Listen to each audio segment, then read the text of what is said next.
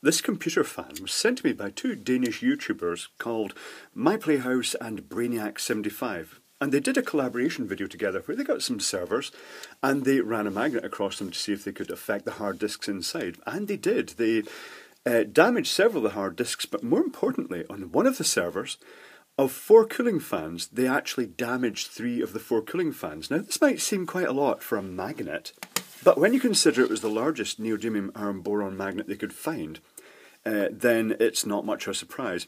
Now, the reason for this packer here uh, was so they could actually slide the magnet down, bring it closer in a controlled manner. Because if that magnet made contact with the computer case, the, the server case, it would probably be very, very difficult to get back off.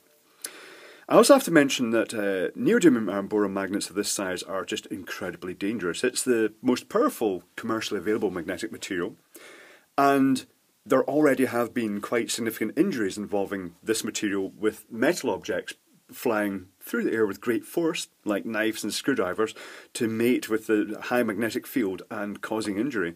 But the most dramatic injury was involving two. And if you've got two of these big magnets anywhere in the same building, then you have to actually plan. If you're going to move one of the magnets, you have to plan the route you're going to take to avoid the other magnet uh, or make sure the other magnet is restrained. It takes a lot of planning because if you don't do that, and the other magnet gets attracted to the magnet you're holding, then the force at which the magnets hit each other will be so considerable that it will smash all your bones uh, if they get in between, and you'll also get shrapnel injuries because the, the these magnets tend to shatter on impact.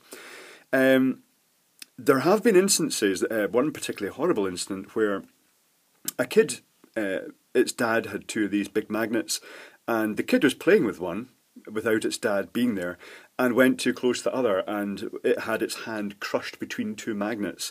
And if you consider how do they even get them apart, I think it resulted in amputation because two of these magnets together would just not part. Um, and also it raised complications if you know what would you do eh, with an ambulance. You couldn't go near an ambulance because then you'd get the magnet stuck to the metal door of the ambulance. It, it must have been a horrible scenario.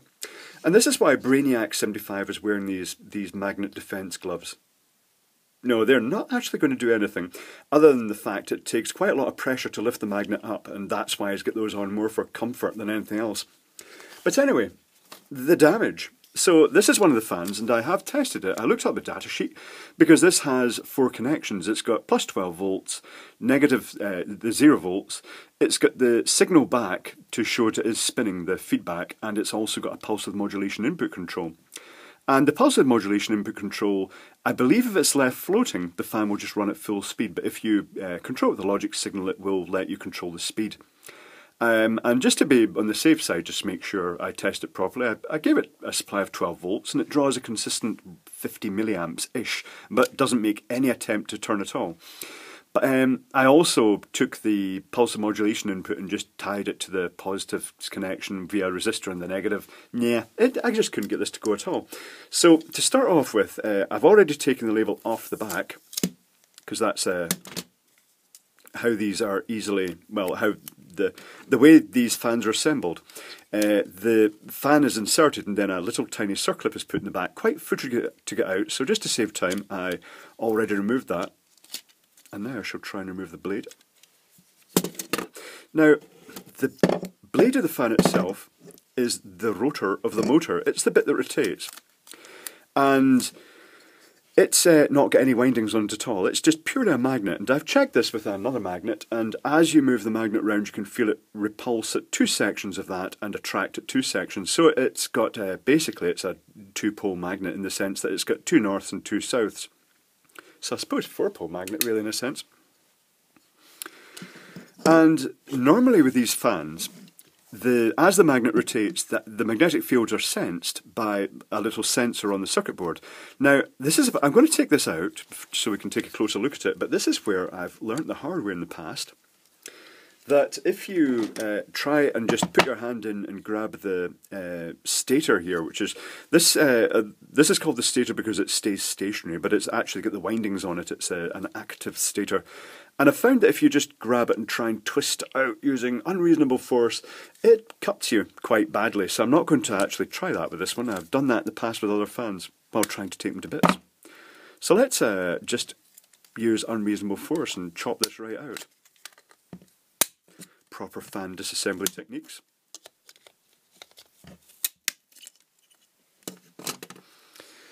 And then perhaps peel this circuit board material back. Uh, not circuit board material, the uh, try and cut the casing off. This may not come off. The core is kind of, I think it's glued in. I'm not really sure. Um, what I can see here, there's a dedicated drive chip for the fan. And this here looks like it is probably a Hall effect sensor to detect the magnetic field rotating to actually tell the fan when to actually the the processor here, the little chip, it to tell it when to actually pulse each sort of winding to actually provide the rotation. Now, the application of the really strong magnetic field, I'm wondering if that just completely defeated the ability of that to sense and basically had the thing instead of pulsing the coils and turn, it basically tried to jam them all on. It might have confused it in some way, or it might. I don't think it would have induced. I don't think the magnet was passed across fast enough that would have induced too high a voltage in the windings because it'd have to be quite a fast movement to do that. But um, I reckon that maybe it's uh, damaged this sensor um, and that's not something that can be changed. However, the unit is still drawing approximately 50 milliamps. So I'm going to power this up now. Actually, I'm going to cut the rest of the plastic out if I can get this off. And then I'm going to power it up and I'm going to see what's actually getting warmed, see if there's any clues as to what might have failed. So I'll be back in a moment. So that's it now completely taken to bits and it's using that a dedicated chip that's designed for fans and it's got the things like it's got the Hall effect sensor feedback down here, and it's designed to drive an external H-bridge driver with a single winding uh, motor. However, this uh, particular fan isn't using that. It's using a different arrangement, and it's using uh, a plus, which is it's quite odd. A component uh, there's a component in line with the plus uh, the positive side of the coil that has been completely exploded, but we'll take a look at that afterwards. But it's actually got a, basically a centre tapped winding. And each side of that winding is coming down to a MOSFET. I'm not sure if this is just to save cost of MOSFETs or just maybe they get better control this way. But either way, uh, this goes down to the negative rail. And interestingly, there's a what it says ZD. I'm guessing that means Zener diode, and it's got got it across the um, MOSFETs. And what's really interesting is that these Zener diodes were a complete dead short circuit, and they've caused uh, quite a lot of current to flow through those windings, which has probably been the main reason that the component uh, that was in series the positive side popped. So it's a different arrangement from the standard schematic, uh, the standard sort of datasheet schematic. It is this sort of standard tap winding arrangement. So if I now look at the circuit board itself, here is the. Let's just adjust this brightness up a little bit. That's better. Here's the side with the control chip on it. Um, and it's also got its Hall effect sensor there. The Hall effect sensor is just marked the letter G, and it's designed to uh, detect the field of this passing as this rotates. This will, this magnet with its different fields will pass over that, so it can basically get feedback and determine the position of the rotor and when to trigger the uh, coils, and it can also determine the speed and things like that, and provide feedback to the the main computer that's uh, the fans in. Um, on the other side, is the dual MOSFET package that was pulling the windings down. Now, this is the, the positive side goes through, uh, the positive comes in, goes through this diode, uh, and then goes to this control chip that has been completely exploded. I haven't a clue what it was. Um, it says TR2, transistor 2, I'm not really sure. Um, but uh, it's it may even be a current reg. It may be a current sensing arrangement because uh, there are a couple of resistors here in parallel. But yeah, not sure. Uh, but anyway, this component which is exploded is uh, feeding this pin here, which uh, on this motor assembly has the two windings going. There's one winding going between there and there, and one winding going between there and there. And here's the Zener diodes.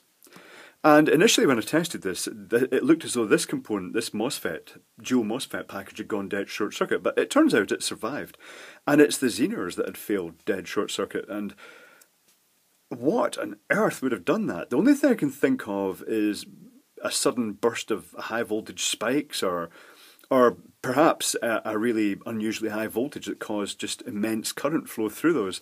Um, I'm not sure what the rating is because right at the moment it's zero ohms uh, and they're completely not intact anymore because I snapped them while I was actually trying to get them off the circuit board to clear that uh, area of the fault.